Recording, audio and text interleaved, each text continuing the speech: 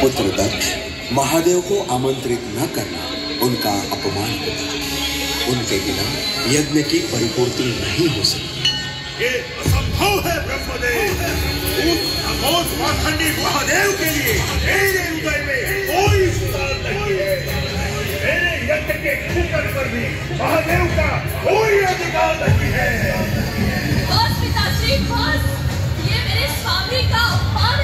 है और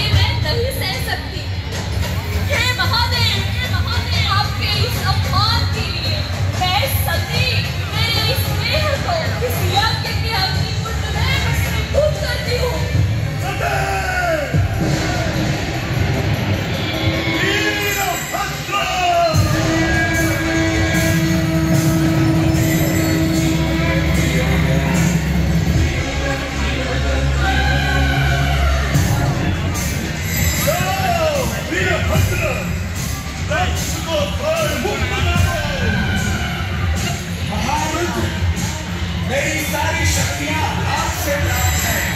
मैं वीरभद्र उस अहंकारी दक्ष का विनाश करने को प्रतिबद्ध हूँ।